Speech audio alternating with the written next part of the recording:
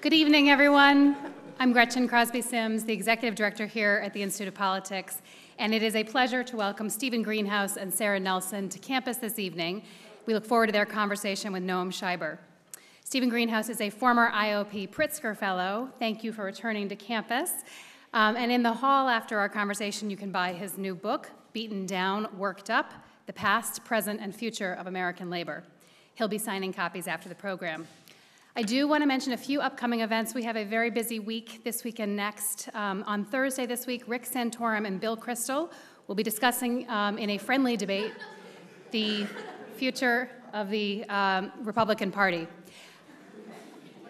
IOP Pritzker Fellow um, Margaret Hoover will moderate that conversation. In two weeks, on March 9th, we will host Kelly Magsamen and Behnam Bel Beltalblou for a conversation on the long-term relationship between the U.S. and Iran.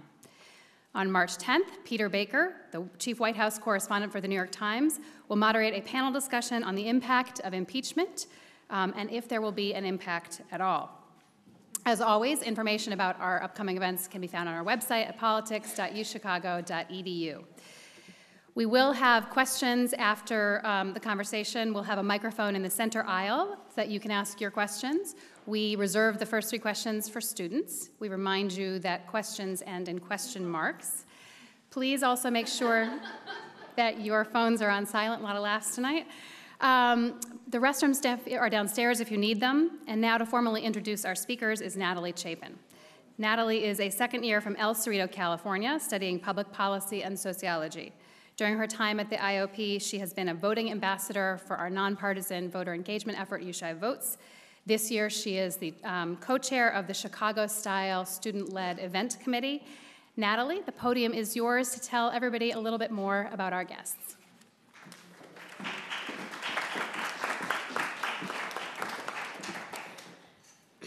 Historically, trade unions have protected the rights and labor conditions of otherwise disadvantaged workers for over a century.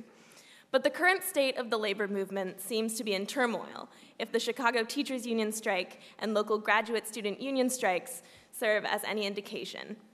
We welcome Sarah Nelson, Stephen Greenhouse, and Noam Scheiber to discuss the future of the labor movement. Sarah Nelson's time as a flight attendant led her to become National Communications Chair at the United Airlines chapter, as well as National Strike Chair. When the United Airlines corporate bankruptcy ended the pension plan for flight attendants, Nelson responded by announcing an intent to strike.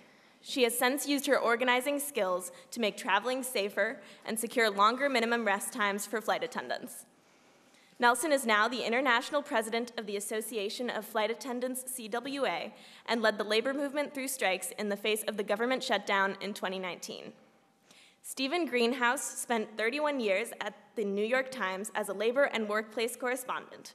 He has covered many prominent trade unions and trade union strikes and drives, including the New York Transit strike and the UPS strike. His book, Beaten Down, Worked Up, the Past, Present, and Future of American Labor tells the stories of a century of worker strikes and the personal experiences of American laborers, while offering hope for the future in well thought out suggestions. In spring 2017, he was a resident Pritzker Fellow at the IOP. Our moderator, Noam Scheiber, is a Chicago based reporter for the New York Times, where he writes about all kinds of workers and their roles in the US economy. He is a Rhodes Scholar and former senior editor of The New Republic, where he covered economic policy as well as presidential campaigns. Please welcome Sarah Nelson, Stephen Greenhouse, and Noam Scheiber.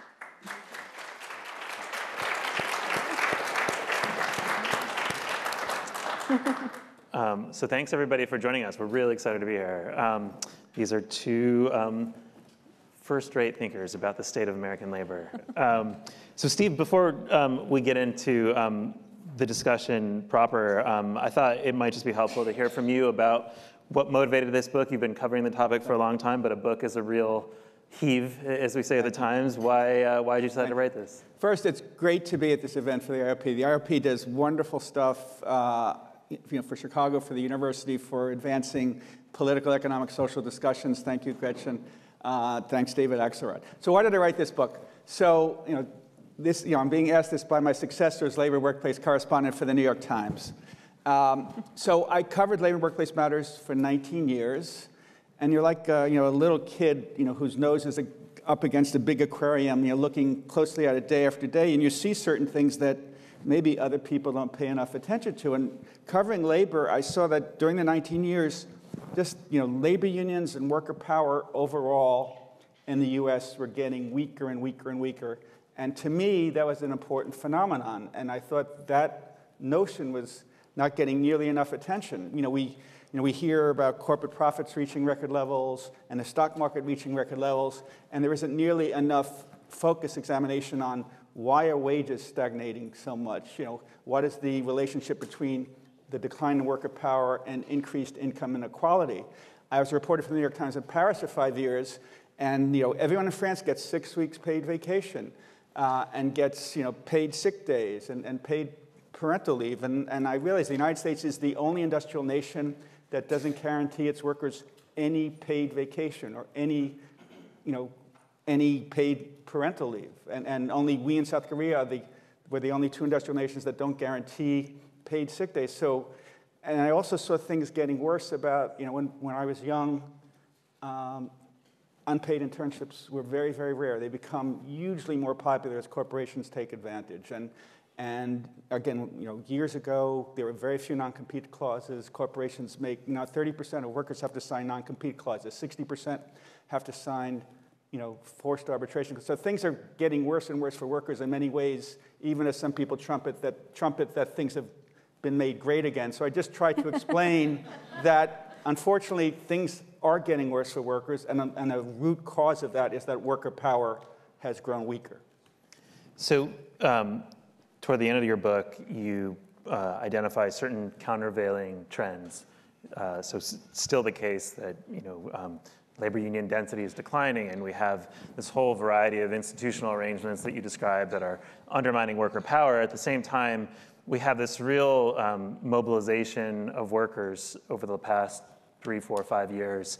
Um, strike activity is as high as it's been in several decades. Um, I guess I'd like to ask each of you um, what you think is going on here. Why are we seeing this sort of bubbling up of worker energy? And relatedly, whether you think the labor movement as it exists today is prepared to capitalize on that, or whether we need something else to, you know, replace it in order to be able to capitalize on that. Wow. Um, well, uh, it's exciting to be in Chicago actually because um, a great example of what's going on um, happened right here with the Chicago teachers strike. And um, this is about really the fact that um, in this country, workers have been taught to believe that individual exceptionalism, exceptionalism is um, the standard. And that, you know, if you don't like a job, you should just go get a job somewhere else. And that if someone else is doing better uh, than you are, then you should pull them down rather than extending your hand and having them help you up. And um, that has not worked. Um, we, we saw in the United Airlines bankruptcy that was referenced earlier, um, that what happened was there was an over three-year bankruptcy where uh, the corporation really used that bankruptcy not just to restructure, but to really um, take away these things that had been long believed to be a part of our society. So at the beginning of the bankruptcy, uh, we were meeting with the other unions, for example, and um, we said, oh gosh, in a bankruptcy, they can take your pensions away. And at the time, I remember some of the uh, pilot representatives said, oh, they'll never do that. that. Pensions are a sacred cow in this country. And when the Bush White House couldn't um, get through its plan to privatize Social Security, the guns really turned on the defined benefit pension plans. And sure enough, here we are um, with one of the biggest looming disasters, the, the collapse of the multi-employer pension plans and the destruction of all of these other pension plans. And so workers in this country who have even built good union jobs are seeing either through mergers or bankruptcies, you know, consolidation, um, consolidated power of corporations, the really the downward pressure on these good jobs that have been built up through the unions. And then as union density has declined, there's more and more people who don't have any union protections at all and are working two and three jobs um, unite here with the slogan, one job should be enough. Um, to me, you know, I wish it were back to, uh, we should have bread and roses too, but God, if we could just have one job that it's enough, uh, wouldn't that be great? Um, people are feeling a real solidarity um, about what they're experiencing because there's no retirement security. Um, even if you have a union healthcare plan, um, you see your friends and neighbor and family members suffering from that. If you're a GM striker, you can tell very well how the company can weaponize healthcare against you. Um, you um, every time you go to the table, you've got you see healthcare diminishing. You've got to fight for the plan that you negotiated decades ago just to keep, um, and the for-profit company running away with tons of money. Um, you see people who can't control their schedules, and the schedules are being controlled by corporations in order to keep people um, beholden to the corporation, but also to diminish their benefits. And then staffing has been cut to the uh, bare minimum. And what I'm describing right here, any flight attendant who's in the room can identify with this, but so could anyone from any other industry. And so could the Chicago teachers who said, you know what, we have to actually reach out, and we have to bargain for the common good. Um, we have to show the community that lifting up these jobs is also about lifting up the community and lifting up the people in the community. And what's extraordinary is they were out there on strike um, to make sure that there could be access to school nurses. This may be the difference for a family who does, has no idea where, why a kid is failing and it took a school nurse to say they're having a hard time hearing. And a hearing aid is going to make all the difference in the opportunities for this kid. And they stood out there with SEIU and these low wage worker jobs and said, We're standing out here together and going to lift the standards. And, and tens of thousands of workers and families' jobs were lifted up with them. And so it's a real microcosm for what I think is happening all across America and that there is this feeling of solidarity. This next generation understands that nobody did it for them. They're going to have to do it for themselves, and they're more prone to collective action and, and wanting to lift, lift things up. And so I, I really think that what we can do is we can re energize the central institution, the AFL CIO. We've got an incredible structure. Uh, 13 million people in the labor movement is nothing to sneeze at. And um, if we can really energize that and use the power of the workers who are already in our unions to organize hundreds of millions more who are ready to be organized according to all the surveys, um, then we can really have worker power to change the politics and change the laws. Now, um, Stephen has great ideas about how we need to change the policies in order to be able to do that, and the two go hand in hand. But workers are ready to take this on, and I think that's what we're seeing in our politics, which we'll get to a little bit later. So I don't think that we have to replace what we have. I think that we have to re energize and welcome everyone to it. And a big, big part of that is helping people understand that the labor movement is for every working person. It is not uh, the way that. Um, you know, people are defining the labor movement from central casting with a, a lunch pail. It is, it is um, people of color, it is women, uh, it is anyone who has a job is part of the labor movement. And I should just take a quick moment to say that it is also the student library workers right here at the University of Chicago who had to fight for two and a half years to get uh, recognition for their union right here and now are finally going to get to the bargaining table. Um, so congratulations to Teamsters Local 743. But that's what's happening all across the country is that people are understanding that actually if you fight, you can win. And if you stand together, you can lift each other up. So Steve, I just want to refine the question a tiny bit because Sarah, Sarah alluded to a couple of themes there that I thought you might be able to riff on.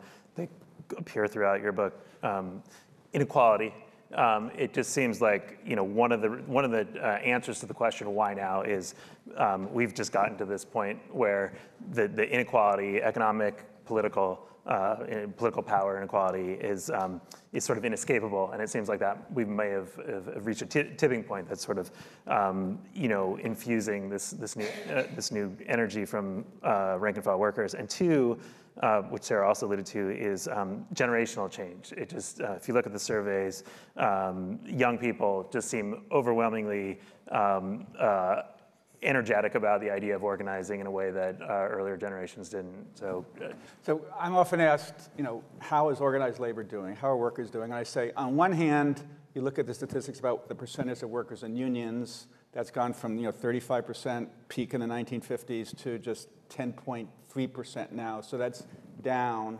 and on a certain level, well, things ain't good there. But as, you know, as Sarah said, as you said, there's a lot of energy now. There's a lot of, you know, a lot of workers like fed up about wage stagnation, about income inequality, about, you know, again, they see the stock market doing so well, and they say, but I'm not seeing that in my paycheck. And, and in ways, the, ball, the recent ball got rolling with West Virginia, where the teachers, you know, like four or five years in a row, they hadn't gotten raises. The governor, uh, Governor Justice, the richest person in West Virginia, announces one day, I'm going to I'm going to be generous. I'm going to give you 1% raise each year for five years. And they're already 48th lowest in, in, in pay among teachers, $44,000 a year average. 1% raise is like $400. And, and they realized that their healthcare premiums would probably rise more than this $400. So, you know, these, these two young teachers, Jay O'Neill, and Emily Comer, an English teacher, Spanish teacher, basically say, screw this, we're going to do something about it. And, and, you know, at the same time, the Republican legislature was giving big tax cuts to corporations and to the rich and for fracking. And the teacher said, something's really broken here. I mean, it's, it's partly inequality. It's partly that the education budget is, has been frozen year after year. Class sizes are going up and people felt beaten down and worked up, so to speak.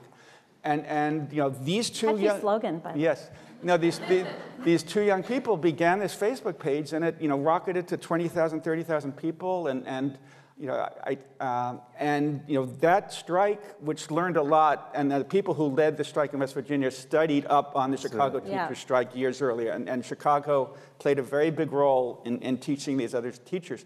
But West Virginia really got their ball rolling recently, and then you know this teacher in Oklahoma, Alberto Morejon, a social studies teacher, was watching on TV and said, "Look what they're doing in West Virginia. We can do that." So he started the Facebook page, and then you know in Arizona, these amazing strikes, which were in ways fights against income inequality, because in all three states there were tax cuts for the rich and for corporations and for fracking, believe it or not, and and the teachers resented that. You know, these tax cuts were going to the 1%, 2%, while the schools were, were being um, squeezed badly.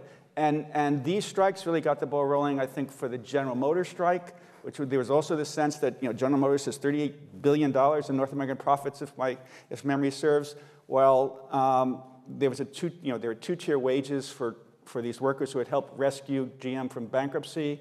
And the workers felt, we bent over backwards to save GM, and they're not reciprocating in kind. And I think they've, they've shared this sentiment with the teacher strikers and with the Marriott strikers that the economy is doing so well. You know, we hear that, that everything is great again, but, you know, and we're 10 years, 11 years into this economic recovery, and we don't feel we've gotten our fair share. And, and the hotel workers, know, you know, they're getting one, two, and three percent raises, but rents are going up 20 and 30 percent in San Diego and, and San Francisco and San Jose. So a lot of workers are just fed up. And as Sarah said, they realize that, you know, only through collective action can they really make a difference. And, and I think, you know, one of the reasons Donald Trump was elected was many workers, many blue collar workers felt the system is rigged. And I think a reason there's this you know, you know, resurgence of popularity of unions now is a lot of people think, well, one way to solve this rigging is to turn to labor. And we are, you know, another very promising thing for labor now is we're seeing all these adjunct professors unionized like wildfire across the nation. We're seeing all these people in our, in our field, digital media. The two most anti-union newspapers in the, in the country have unionized recently, the Chicago Tribune and the LA Times. We've seen a lot of grad students unionizing here and elsewhere. And, and you know, as a reporter, I'm not supposed to sound opinionated, but I say, how could, how could a university administration deny that the teaching done by graduate teaching assistants is not work? I mean, that's just absurd to me. And, and, and we're seeing a lot of other labor activity. Uh, uh, local in New York City has unionized 15,000 airport workers, baggage handlers, wheelchair pushers. The Teamsters have organized 50,000 school bus drivers around the nation. Uh, Noam just did a terrific article about you know, Google and, and how workers there are getting worked up. Uh, and and uh, you know, Kickstarter was the first well-known tech company to just unionize. So people, workers are frustrated and they want answers, and, and they don't feel they're getting answers from the federal government right now. So they're trying to take power into their own hands in the form of collective action, and they're trying to press their employers to give them a fairer deal, a new deal, a better deal. So um, we're reluctant to get into this topic because it's probably not of interest to most of you. But given that the 2020 campaign looms over a lot of this conversation, we figured we'd we'd kind of grudgingly um, do a few minutes about that. and I, I guess the um, the question I have about 2020 is. Um, how much of this energy that you guys have been talking about that's bubbling up from workers and workplaces, how much of that is trickling into the 2020 campaign? How much do we see it play out in some of these primaries that we've already seen? And um, to what extent do you think that one of the major party candidates for president, or both of them, um, can harness this in, um, in the general election campaign in 2020? Uh, well, um, I think what's extraordinary is I was talking with a union organizer a couple weeks ago who said, you know, I, I would organize under any one of the labor plans of any of the Democratic uh, candidates for president. And those labor plans didn't just happen because they thought it would be a good thing to do. They happened because of the strikes that are happening, the energy that's happening around the country. Uh, the way uh, to win this election is to bring new people out to the polls and to energize the electorate. And the candidates get that. But I think that what the candidates also get is that um, we had over 400,000 people who got essentially immediate results. Now the unions were working on building toward those strikes for a very long time. There's a lot of I don't I don't want to over romanticize that because there's a lot of work that goes on behind that um, to make that successful. But when but people are seeing that workers are taking collective action together and in some cases getting a result in a day or getting a result within a couple of weeks or even six weeks. And when was the last time that you got anything done with the government in that amount of time? So these candidates standing on picket lines and standing with unions are saying, I'm somebody who's going to get something done. That's the other thing that they're saying here. And that's why it's so incredibly important that they're a part of that. Um, because um, they want to be seen as the candidate who is going to fix things. Um, I was talking with Reverend Barber um, about being in Kentucky before the governor's election there.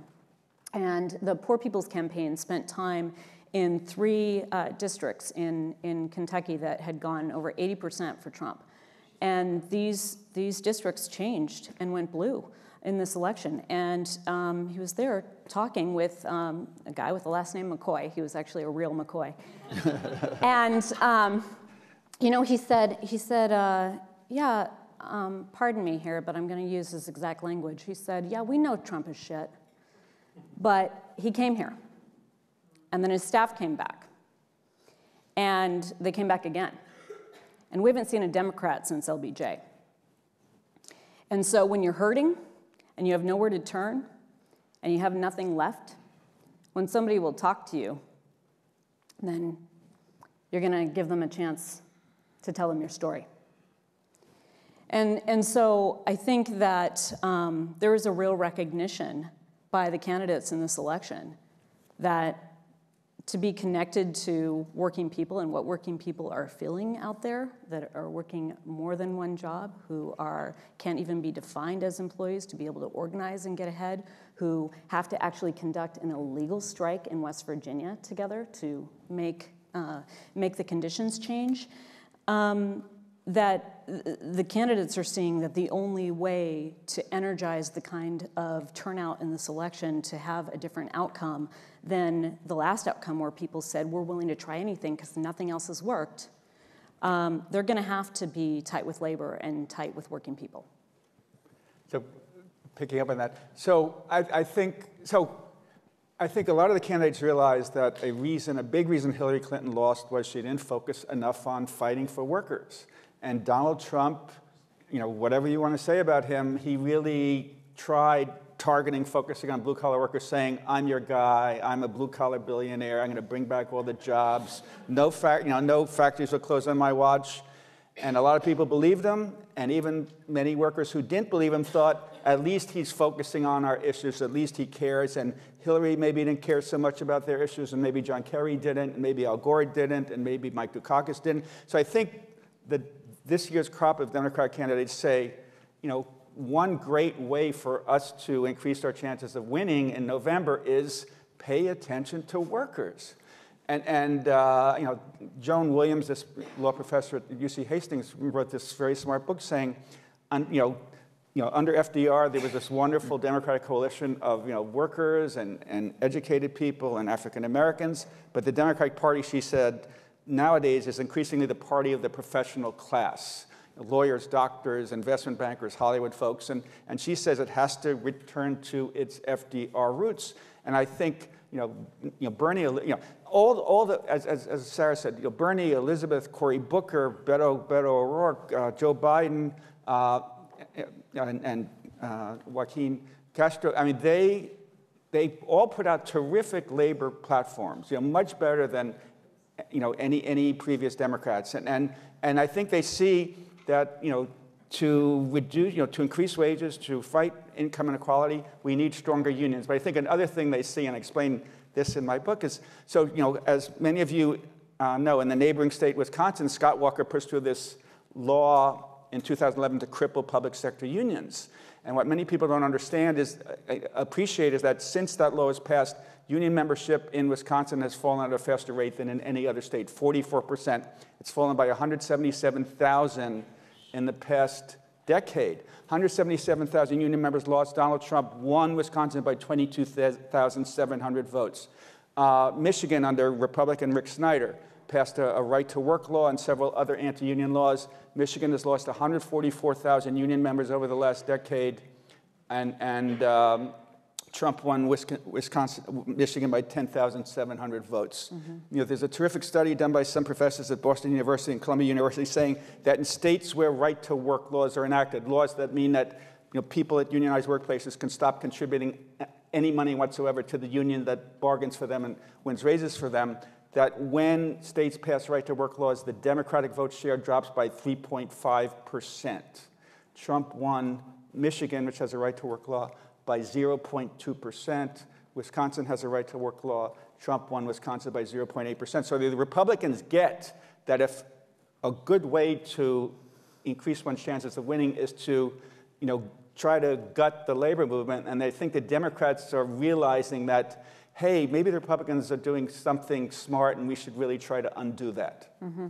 So I, I, just want to um, press uh, on on um, one. Uh, subtext here. I think um, often, um, like in, in your responses, you sort of frame this as uh, the Democratic Party, the Democratic establishment being a little slow to realize that um, its long-term interest was very much aligned with workers and with unions. But I think there's another, and, and that's they're now slowly waking up to that fact. Um, and there is the campaign contributor factor, yeah. Right, but but I think there's another split, um, which we may have seen a little bit already in this campaign, um, and we saw some in 2016, which is um, sort of um, labor leadership, labor establishment, and then rank and file workers. And often their um, political interests aren't totally aligned. So in 2016, 2015, we had a lot of unions that were very, very early to endorse Hillary.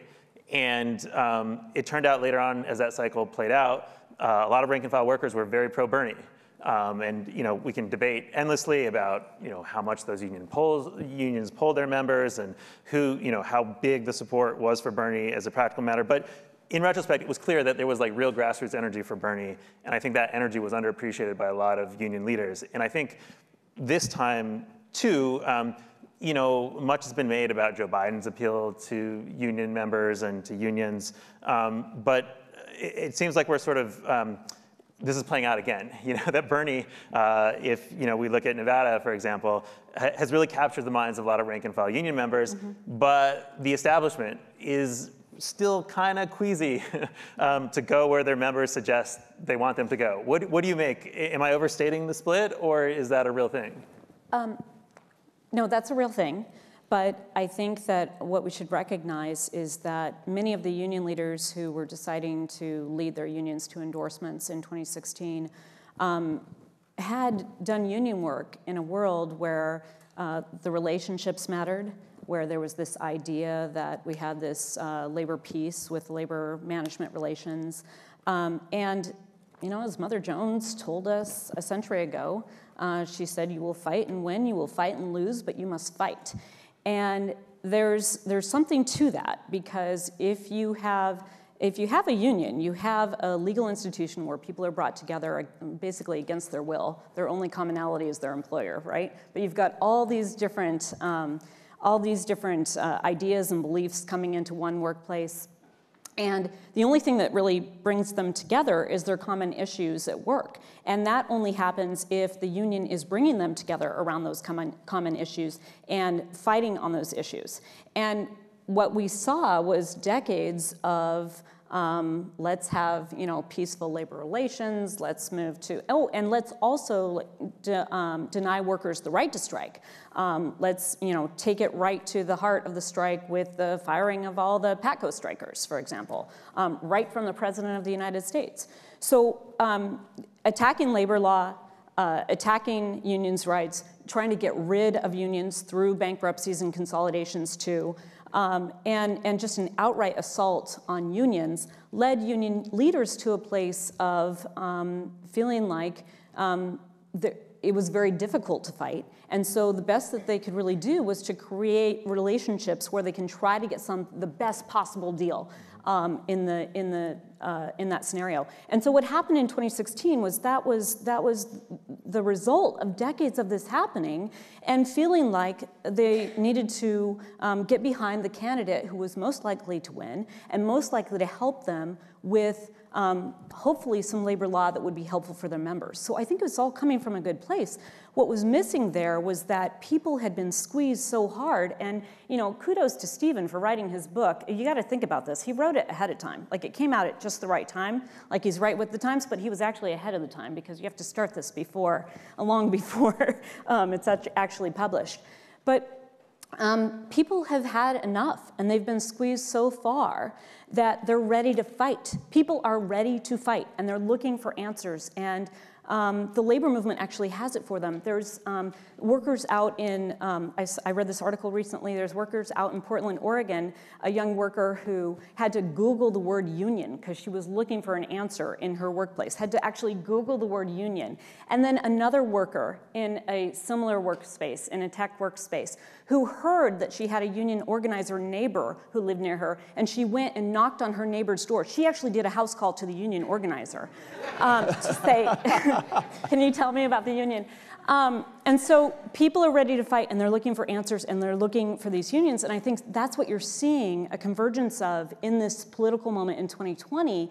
And but what you're also seeing is unions recognizing for the most part that they need to leave those endorsements um, to the locals and to the rank and files. And you're not seeing a lot of endorsements this year because it's not about the endorsements, it's about the votes and it's about turning out the votes. And if people hear their issues, then they're going to come out and vote. So trying to lift up the issues and get the candidates talking about those issues that union members care about and workers care about is what unions are focused on now in order to have a different result in this election. Sarah's right, and just to reframe it for a second. So I think you know, four years ago when you know, Hillary Clinton very assiduously courted four of the largest, most important unions in the nation, the American Federation of Teachers, the National Education Association, the American Federation of State, County, Municipal Employees, and the Service Employees International Union. And those account for probably three, two-thirds, three-quarters of the nation's union members. And she you know, had very close personal relationships with them, and they endorsed her maybe earlier than they realized they should have. Um, and now I think there's a reaction, well, we might have been too quick to endorse four years ago. and Now we have to be more careful because we got so much grief for endorsing early. And now I think they're in a quandary because I think a lot of union members support Bernie, uh, a lot support Elizabeth Warren, a lot supported, uh, you know, support Joe Biden. You know, his, you know, I think his union support is declining as his public support is declining. A lot supported, supported Castro, a lot supported Booker. So it's, so I think, you know, for, you know, even the culinary union in Las Vegas, I, I, you know, I saw a poll saying 34, you know, exit poll, 34% of union members supported Bernie. So if only 34% support Bernie, you're not going to say, well, we, we should endorse him because 66% don't. So I think union leaders are being more careful. And if they were really extremely confident that this person would be the winner, and, and they want to shorten the, you know, all the the Sturm und Drang, then they might pick a winner. Uh, but as they did with Al Gore early on against Bill Bradley in, back in 2000. But I think now they're being very careful. Um, we have a few minutes before we open up to questions. Um, so before we do that, I thought um, we should um, do one thing that you do toward the end of your book, which is um, discuss some concrete reform ideas that um, if there is, well, if there is a Republican president or a Democratic president, either one could uh, enact them or help enact them, but um, probably more likely that we'd see them from a Democratic president. Um, if you're just kind of looking across the range of options, um, the reforms that would give you the highest, you know, the greatest bang for your buck, what, what would the two or three of those, those be? Just changing labor law? So, so just very quickly. So yeah, people don't realize that the playing field when you try to unionize, you know, it's become clear in your Google, it's very tilted against workers and unions and very tilted in favor of corporations. You know, corporations can show video 24, 24-7 in lunchrooms, in, in break rooms, and union organizers can be absolutely prohibited from setting foot on company property.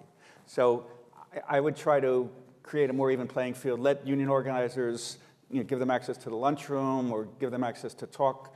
Uh, you know, a lot of corporations break the law and fire people illegally for supporting a union. They cannot be fined for that under current law. The penalties are extremely small. They could try to increase that. But uh, it would be hard, you know, for that to, you know, to win passage unless the Democrats have at least 60 seats in the Senate. An idea I favor strongly because it might help change the conversation is I have long liked co-determination in Germany where workers elect just under 50% of the members of corporate supervisory boards. Tammy Baldwin of Wisconsin proposed letting workers elect 33%. Someone named Elizabeth Warren proposed letting workers elect 40%. You know, Bernie's saying now let, let uh, workers own what 20% of corporate shares. So I think it's important to give workers more ownership and more voice within companies. Sarah, as someone who actually has responsibility for organizing workers, what would be what would be the one or two tools that would be most helpful to have that you don't have today? So um, the determination of who an employee is is incredibly important. You have to be determined as an employee to actually be able to organize and, and have those rights.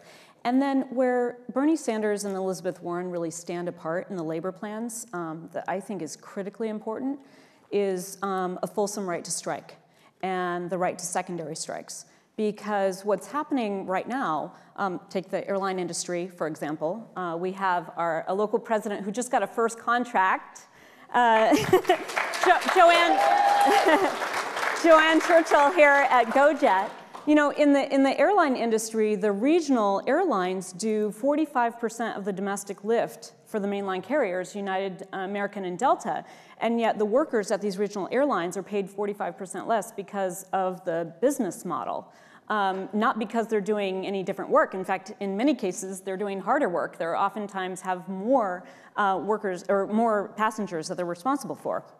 Um, and so if you have the ability to have a secondary strike and to have a fulsome right to strike, we can't even get to the right to strike under the RLA today because it's held up by the administration. Um, then you can actually you can actually get to solutions because it, what people fail to realize is that a strike, in a strike, everyone has to consider what's at risk. There's something at risk for workers and there's something at risk for the corporations. And what it does is it simply in incentivizes everyone to get to common ground and to get to problem solving and to get to a deal.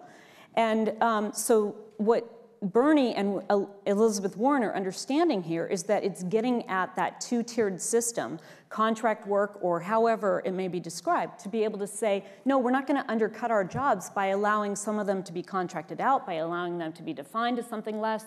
We're going to stand together and, and lift up all the jobs together. It's also um, really echoing what's happening in the country and this idea that Americans want solidarity. This is not about individual exceptionalism anymore. This is about understanding that we're all going to do better when we all do better.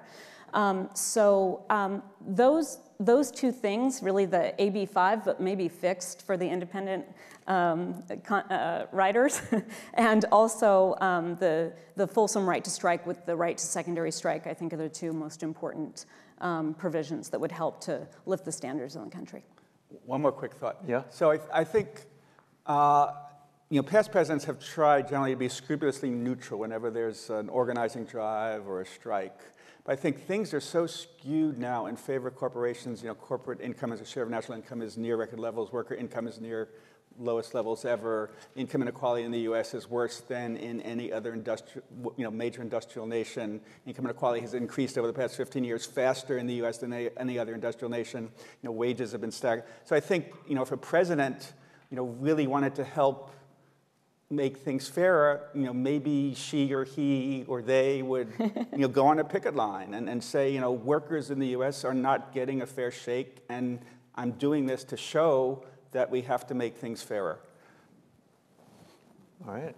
Um, thank you, guys. Cosign. Um, why don't we uh, Why don't we open it up to some questions? So we asked about, got about one third of your questions. It's about It was good. It was good. Since- Thank you both very much for coming, and I, I've really enjoyed this. I was curious, continuing this section of the conversation surrounding labor law reform, um, because it just passed the House earlier this month. Do you think that the PRO Act is sufficient in terms of making organizing easier, or are there additional steps that you'd like to see taken by a future Democratic president in Congress?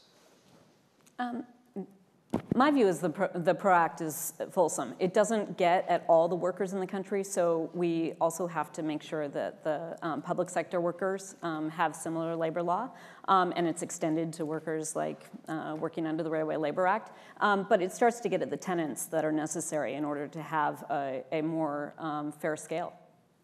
I can be a pessimist. So now, just 6.2% of workers in the private sector, just 1 in 16 are in unions. And the private sector unions have really gotten very, very weak. Some have lost the memory muscle about how to do large scale organizing.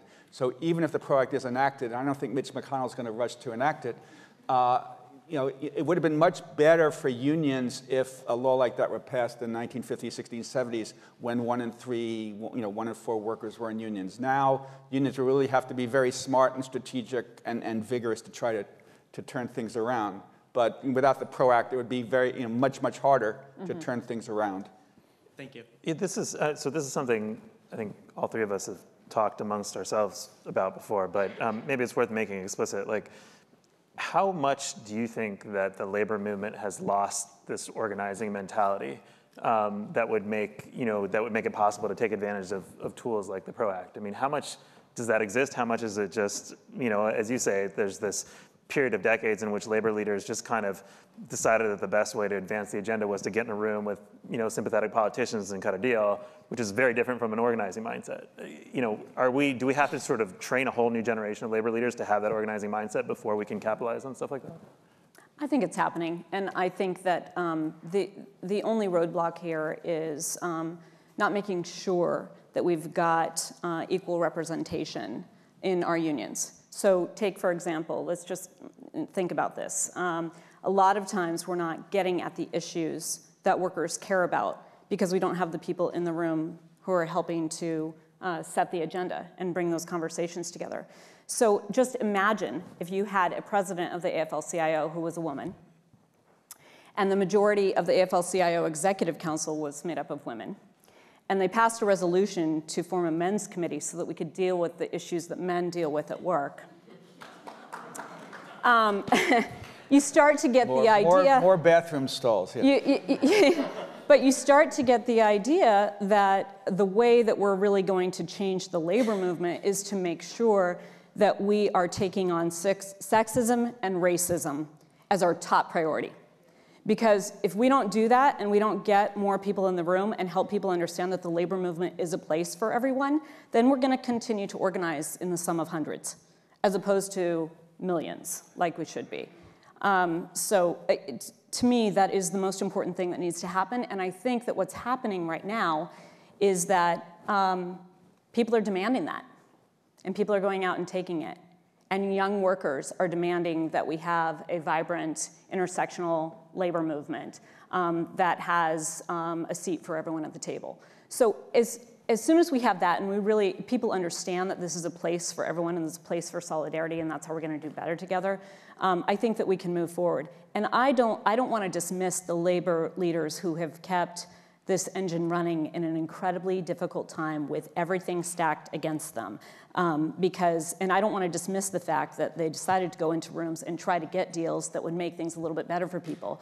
There, you know, the intent there was to make things better for people. But we're in a moment here where we can really capitalize on the energy that's taking place and organize in the millions. And we have to do that by making sure, first and foremost, that this is a place where every worker is welcome.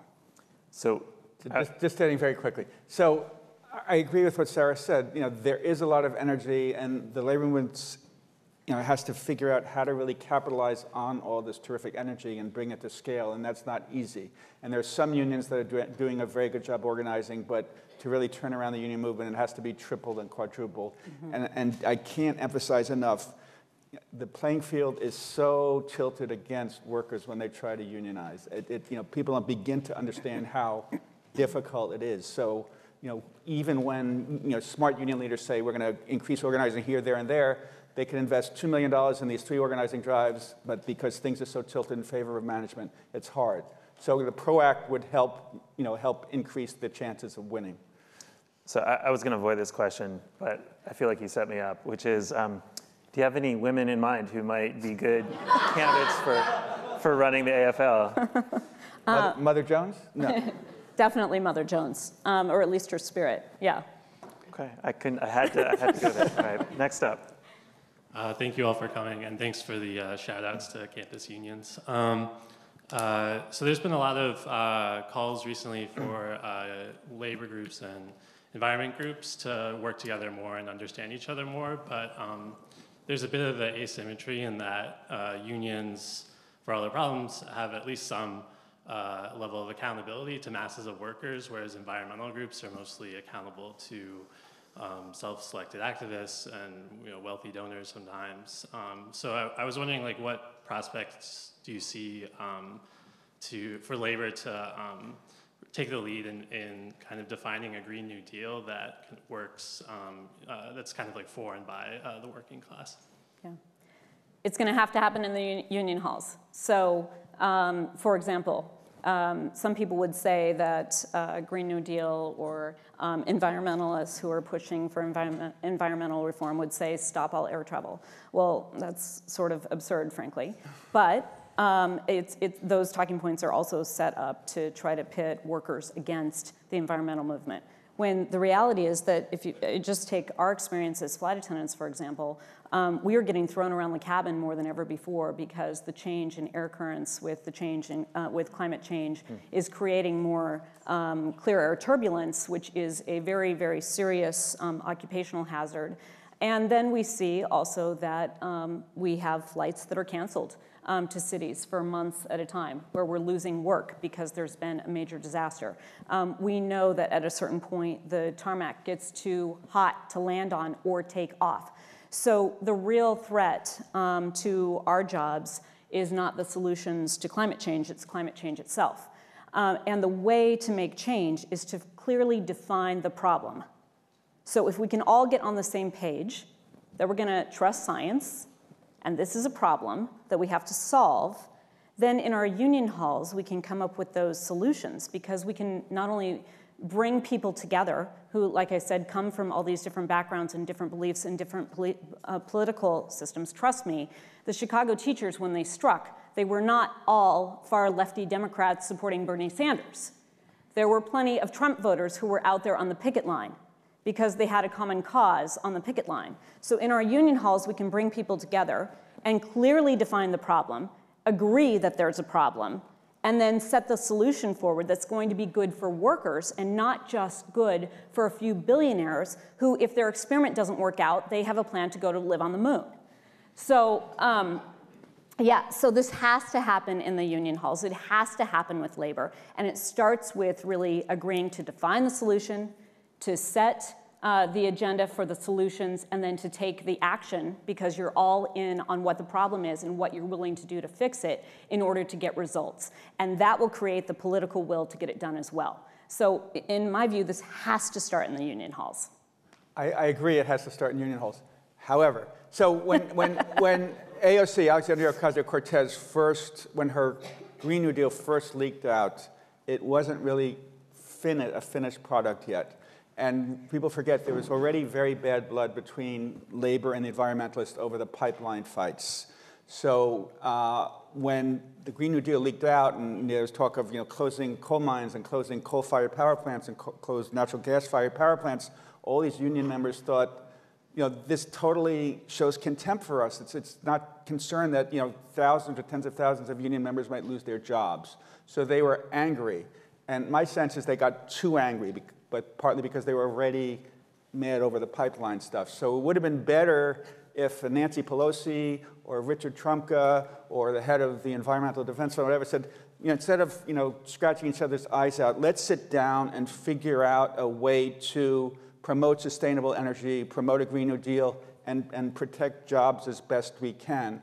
And, and the best thing I've seen on that is actually Bernie Sanders' Green New Deal, mm. because he says, you know, he says, uh, as we move towards sustainable energy, anytime a fossil fuel related job is lost, that worker should get five years of pay, five years of pension credit with Medicare for all. That person won't have to worry about losing health coverage and get all the education she or he needs moving forward. And I think that would go far to make environmentalists happy and make workers happy. You don't think we should just get miners to learn code? just, just check. Oh, okay. Go ahead. Hi. So another question about the possible alignment or misalignment of incentives between um, specific unions and broader progressive movements. So you want the labor union to be a big tent. Is there room in this tent for uh, unions like um, police unions or um, prison guard unions whose incentives are at least widely perceived to be imperfectly aligned with a lot of progressive groups? Right. So, or we, you know, if we want to be crass about it, if you're looking across the labor movement and trying to identify pockets that were overwhelmingly Trump or much more disproportionately inclined to vote for Trump, the, some of those would be those that he named. so you know, we have a, a flight attendant who ended up in um, six weeks of ICE detention this past year. Um, and she was a flight attendant flying for Mesa Airlines. Um, she was assigned a trip to Mexico. She was a DACA recipient. Um, and uh, because of the uh, executive order from the White House and then the court um, uh, reinstating DACA, um, there was a provision that was left out, which was the ability to work in and outside of the country as a DACA recipient. So um, she got caught in this moment where she was on probation with uh, the job she had always dreamed of having after going to Texas A&M and growing up in this country. And she's assigned this trip to Monterrey, Mexico, and she goes to her supervisor and says, "I can't go. I don't. I don't think I can go." And her supervisor says, "No, I've checked all the regulations, and you can definitely go." And when she comes back um, she is um, taken by uh, CBP and um, put in a 24 hour tank and then sent off to a private prison um, that, um, uh, that ICE was running. So she talks about this experience. When we found out about this, we got her out within 18 hours and um, mobilized to do that. But she talks about this experience and she talks about the fact that the uh, workers there running the prison had been told that they were getting a job in a community where there were no jobs, and they were going to get a job um, that was going to give them minimum wage and health care and some, some other benefits, right? And they were told that they were going to be prison guards. And then they showed up and find out that actually what they're doing is they are guarding um, these uh, detainees. And so they had no idea that was going to happen, but they've been through training. Now they have to provide for their families. They're there, they are understaffed. She says the place was a mess, it wasn't cleaned up, the food was terrible, they were given terrible treatment. But she remembers talking with a guard who talked about this experience about being hired and then not being given the resources to do the job herself and getting frustrated and frustrating with the, the people that she's guarding who are, uh, you know, saying that the conditions are horrible, and it's setting up this conflict between the, the worker who's been hired and the person that they are policing, right? And so I think that it's, it's really important that um, we recognize that the people who are uh, creating this conflict and, and pushing people together into this conflict are the ones to blame. Not the people who are looking for a job and trying to provide for their families. We cannot think of other people as the problem. And I always tell people the minute that you start thinking they about another worker, that's the union buster at work. So I, I, think that we have to be really careful about saying that some workers deserve a union and others don't. Because if you have good unions that are doing their job and are calling out the problems at work, You usually will not have the kind of abuses of other people or the poor safety and health practices that are in place if you have unions that are working and if you are promoting the idea that those unions are there to take care of each other and there is the idea of solidarity. So if we can promote that, I don't think that there are certain jobs that you can classify as uh, that are workers' jobs that are not allowed to have the same ability to be a part of a labor movement. Adding one or two thoughts. So uh, over the past few days, it's come out that Donald Trump has signed a memo that would give uh, Defense Secretary Esper a green light to take away bargaining rights for 750,000 defense, civilian Defense Department employees because they see you know, unions as getting in the way of national security, as reducing the flexibility. And I'm sure many of us would say, of course, these workers should have bargaining rights. Mm-hmm. Uh, every worker should but you know, clearly some Republicans disagree. Now, the gentleman who asked this question, um, you know, if you were the president of a police union, I know a lot of us are unhappy with how the police union, the CPD handled the Laquan McDonald case, you know, but you know, if you are the head of the union and one of and several of your people are accused, you know, you have a fiduciary duty, you know, like it or not, to like go to bat for your people.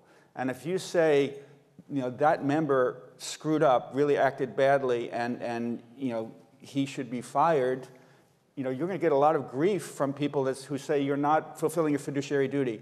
And, and it's a very complicated thing, and as a result, a lot of police union members, uh, police union officials, and correction officers officials go to bat for people that many of us think did, did something wrong. And it's just not an easy issue. But I would argue that they, like you, you know, should have the right to have a union.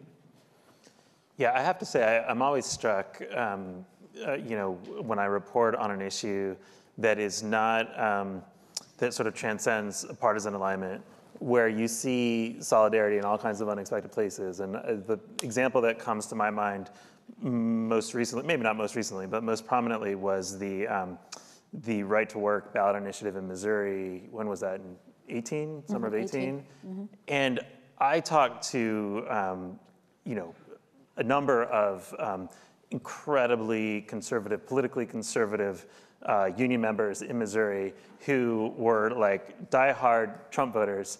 And these people were, you know, lining up. They were bringing their neighbors to the poll to oppose this ballot initiative. And so you, you, you see, you know, you, see all kinds of examples where worker solidarity can transcend these partisan divides. And so it's, it's, um, you know, it's, uh, it's seductive but wrong to assume that people are basically a function of, of, of how they vote.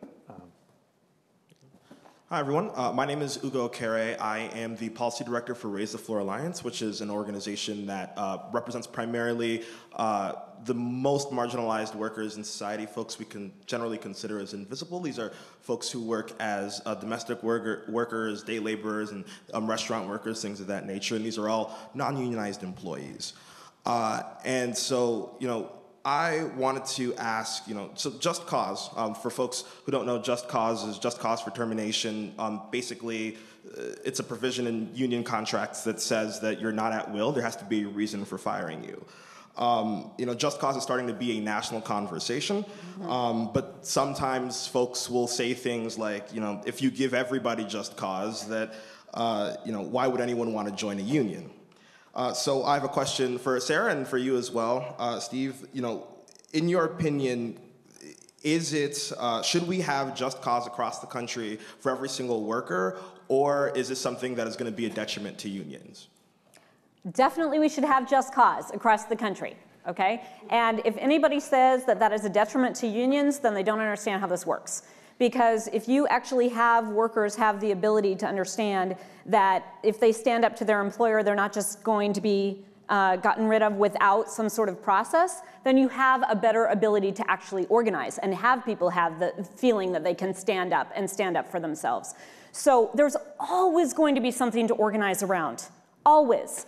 Whether it's shoes that flight attendants wear, there's always something that, that you're going to be able to organize around in a workplace. And anybody who says that we should diminish those rights and you should only have those rights if you can pass all these hurdles to get a union, that you should have those rights, it doesn't understand how this works because using power builds power. When workers feel that they have power, they're going to use it more and they're going to and they're going to demand more and they're going to be more willing to join together and take that and have demands of their employer. So we should have just cause across the country. Just, just adding a few sentences. So we as a nation are an at-will employment nation, meaning employers can fire you for anything except, you know, legislatively, you know, specific things like race or religion or age. Uh, so if you come into work one day and, and burp or don't smile or, or say something that you don't like your boss's shoes, you can be fired. So I think a lot of people feel that if we have just cause, meaning you could only be fired for just cause and there'd be some type of hearing, you know, when you're fired, that would embolden workers to, that would give workers more of a voice at work. It would embolden them to speak up. And, you know, as Sarah said, that would encourage more collective action to improve the lot of workers. Hi there. Um, first thing I want to say is I'd love to see a woman as the AFL-CIO leader. Um, I think it would solve a lot of problems. And right now, from Greta to the Women's March, this is leadership proof, organizing proof. They're the ones that are stepping up.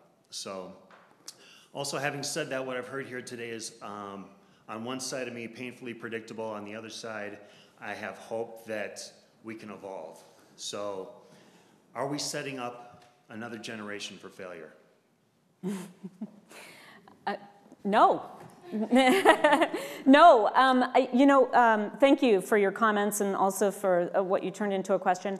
Um, that um, what's, what's different here and what I believe is going to make the difference in this election in 2020 is that whether we actually elect a woman as president, it is going to be women who lead the way in this election.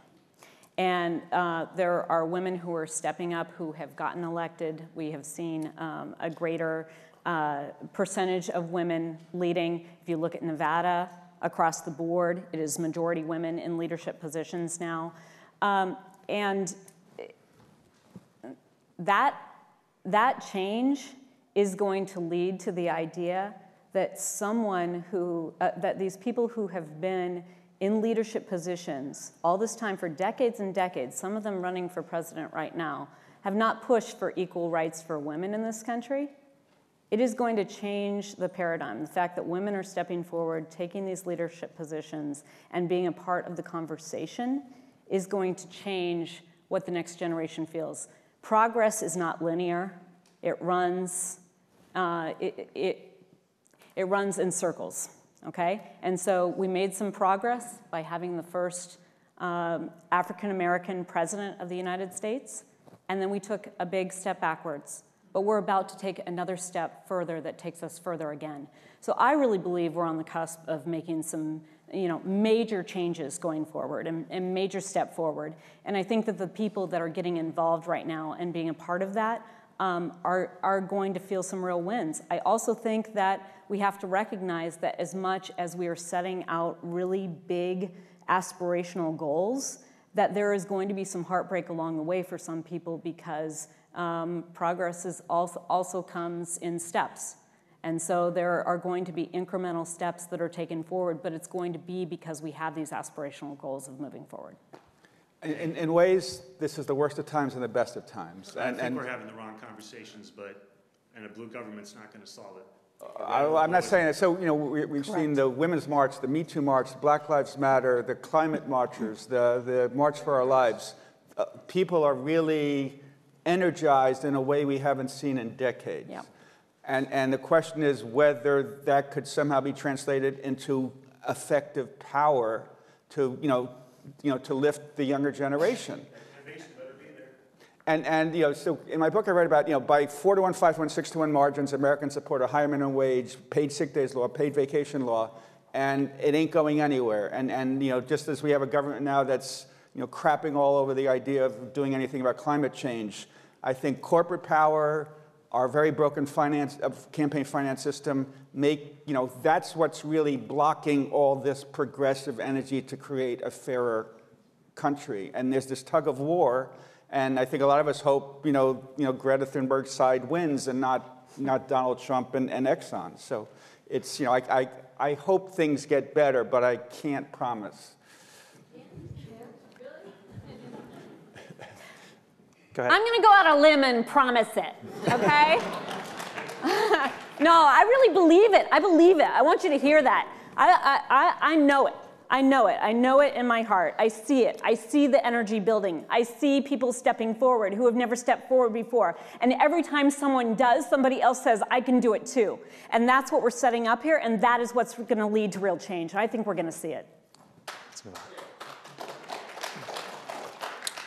Hi, I'm a young person. I'm in a union, and like very few of my friends are, and it's hard to advocate for, you know, people who, like you said, are they're young professionals, the Democrats and stuff, and like why they're good. And I'm also kind of alienated from my own union because it's enormous, and I don't like what the people. I mean, it's SEIU. I don't like, you know, how they do things, and how do you advocate among other people, you know, sell them on stuff that this is good, and, and I'm struggling. How do you, how do I, you know, make changes in my own thing? Because it's kind of like a, a government itself is huge, and you know, it, it's run kind of like an, an own corporation, and I don't, you know, like I've been a member a long time, and um, I, I, didn't, I didn't like the stuff that Andy Stern was doing, or any like that to say. So I'm struggling how to, how, do you, how to navigate that. So read your union's constitution, and get involved and get more involved. And the, the truth is that democracy uh, doesn't work when people don't participate. When we just hand over our power to other people to make decisions, it doesn't work. Um, and so democracy is really messy. And calling it out and um, being a dissident is the best way that you can love your union. But love your union and understand that there is a purpose for an institution because if you don't have that institution, you don't have the legal rights that you have with that institution, and you don't have the framework to make change. Think about your union as the framework to make change and love it for that reason. And when you call it out and when you say that, you know, these are things that we have to fix, that is the best way that you can possibly love your union. Um, just one, one thing, just to point back to Steve's book, um, you, you, you grapple with this issue of union democracy a little bit in the book. You have one interesting idea for term limits for uh, union leadership.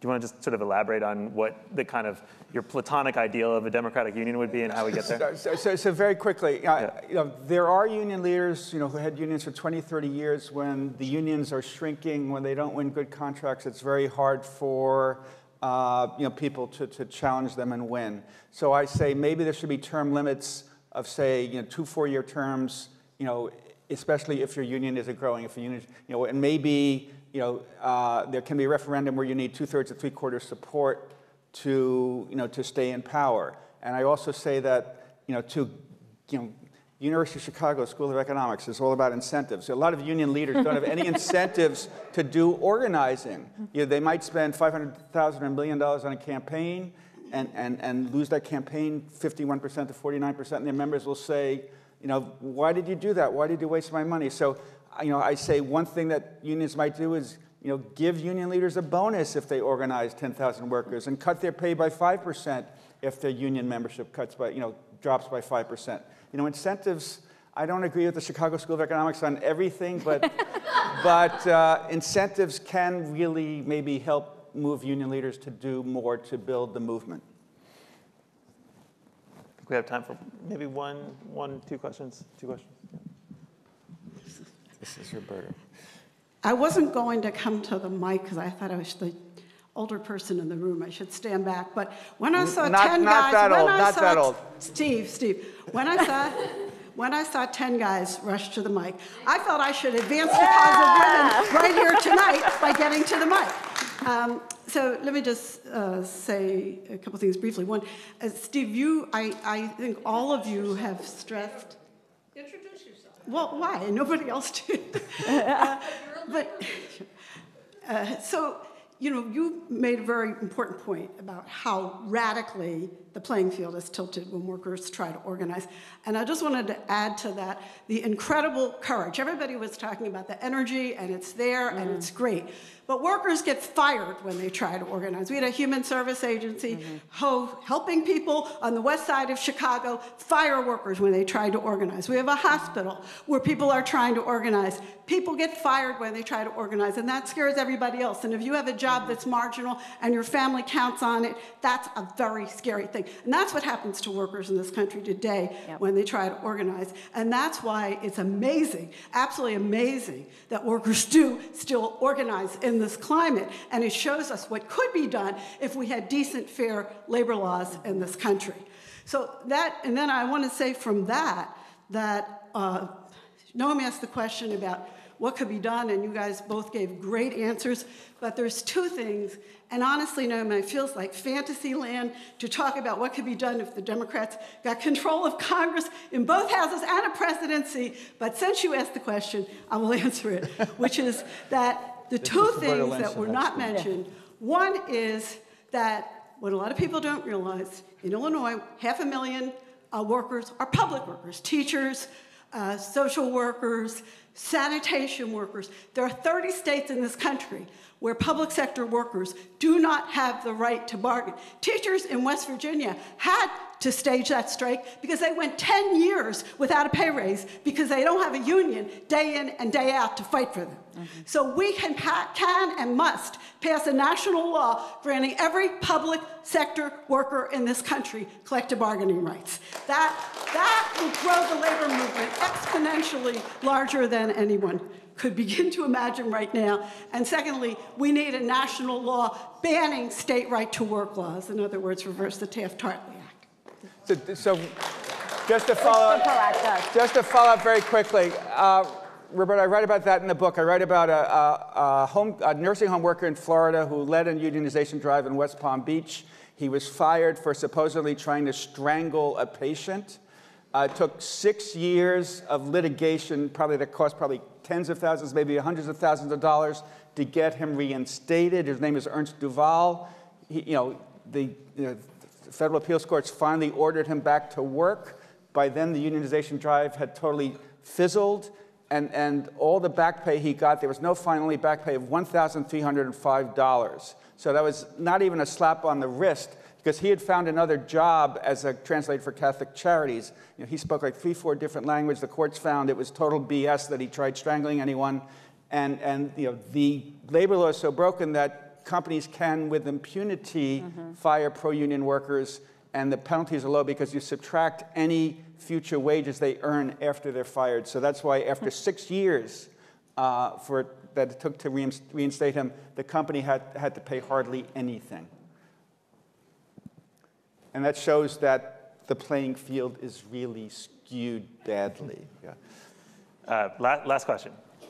Hi. So, um, if someone were to be, let's say, skeptical of uh, kind of current government and its ability to get new policies enacted, uh, even with the 2020 candidate hopefuls having great plans, getting through Senate or Supreme Court or any of the other potential like limitations, I would. I'm curious what ideas some new energized leader at the AFL-CIO could bring to potentially reforms within the labor movement or supporting sort of new initiatives, alt labor, new innovations, and things that could be done specifically to improve the current labor movement outside of policy or trusting anything in government.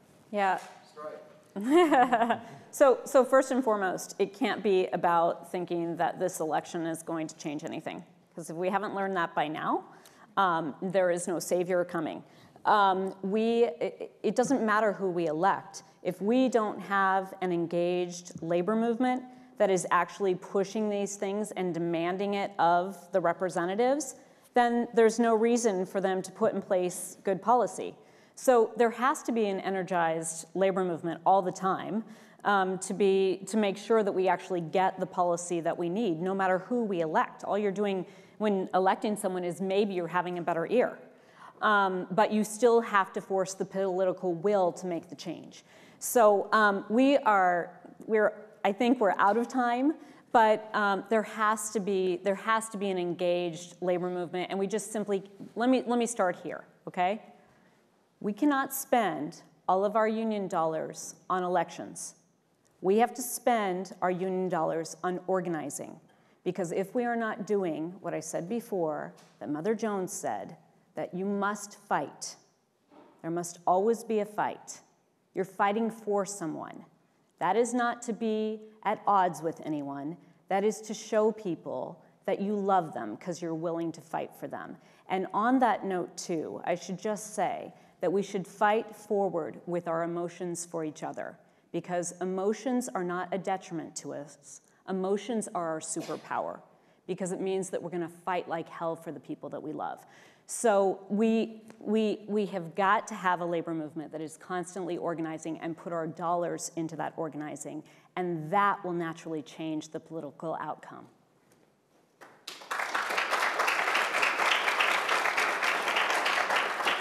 Thank, thanks everybody for coming. Thank you to our Thank you. terrific panelists. And Thanks, Steve, Mr. Moderator. Thank you for the, the, uh, the terrific book. Yes. Thank you. Uh,